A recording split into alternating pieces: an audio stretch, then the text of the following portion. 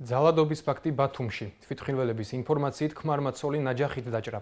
შემთხვევა დღეს დილით მოხდა. 50 წლის ქალს ჭრილობები თავის არეში და მარჯვენა ხელის კიდურზე აღენიშნება.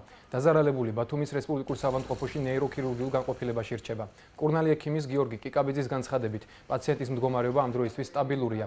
როგორც ჩინაგან საქმეთა სამინისტროს საზოგადოებასთან ურთიერთობის სამსახურში აცხადებენ, ამ დროისთვის დაზარალებულის მეუღლის დაკითხვა მიმდინარეობს. უწყების ინფორმაციით საქმის გამოძიება 118 მუხლით დაიწყო, რაც ჯანმრთელობის განზრახ ნახ ნაკლებად მძიმე დაზიანებას გულისხმობს. წინასარი დიაგნოზით ქალატვინის ტრავმა, თავის ტვინის შერყევა, მარცხენა იდაყვის ძვლის ხაზოვანი მოტეხილობა და ჟეჟილი ჭრილობები შუბლისა და იდაყვის არეში. პაციენტს ჩაუტარდა რენტგენოლოგიური გამოკვლევები, ნეიროქირურგის კონსულტაცია და მოთავსებული იქნა ნეიროქირურგიულ განყოფილებაში სტაციონარული მკურნალობისათვის. ამ ეტაპზე მდგომარეობა სტაბილურია. კოლელობის ცდელობა იყო დაგეგმილი და წამოიყვანეს სასწრაფოთი რეანიმაცია რესპუბლიკურ სავატოფოში. ქალაქ ბათუმის რესპუბლიკურ კლინიკურ სავატოფოში ნეიროქირურგიულ განყოფილებაში მოთავსებული. ძიმა მდგომარეობაში დაჭრილი აქვს თავის არეში, ხელის მოტეხილი აქვს, რავლობითი ჭრილობები აქვს.